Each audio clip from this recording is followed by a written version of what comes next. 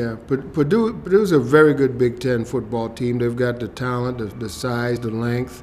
They've got a young quarterback that I think is uh, getting better every game, and they've got a very good running attack. Uh, defensively, uh, they're, they're really big up front, and they're fast in the back.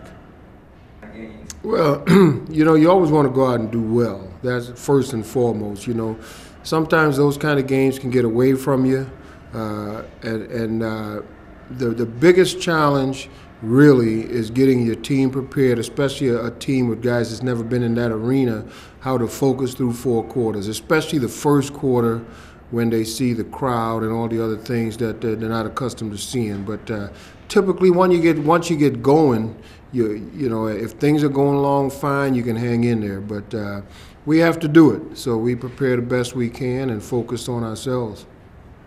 Yeah, you it, it's uh, probably 50-50. There's a few guys that's been in that arena before. Uh, we went up to Ball State and played up there, but this is a, a much bigger arena than, than a Ball State. And uh, but uh, you know what I'm counting on is is early enough that the, the, the guys that the veterans that's been in the arena before kind of help bring along the guys that's not experienced in that type of thing. Yeah, well, we, we play one play at a time. That's not going to change. Yeah. That's what we do. And, uh, you know, when we practice, for instance, we'll, we'll start practice tomorrow, we just have to have a good Tuesday. You know, I thought um, this bye week we practiced well. I wasn't real comfortable with all the practices the week before just because there was so many things to cover with with a new team. There's still an awful lot to cover, but there's a difference between the first and second game as far as covering every single little thing.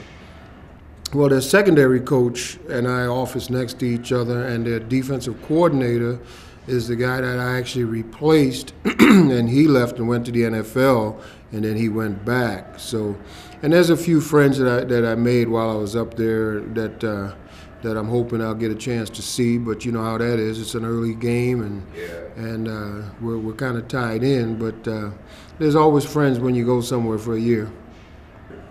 Uh, yes and no. I, I think uh, they try to implement more of that attack style.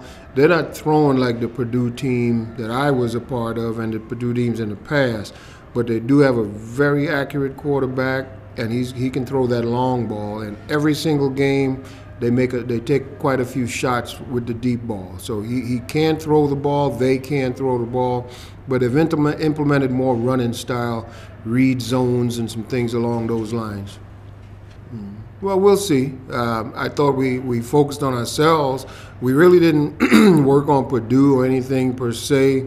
We needed to focus on ourselves. You know, uh, after looking at the SIU film and looking at that game, I thought uh, just the fundamentals, the basics, the footwork. Footwork's a big, big part of football, and I thought some of those things suffered. And uh, we we went back a little bit to the basics, cleaned up a few things, competed against each other. We wore pads every day just to make sure that the pad level and things are down.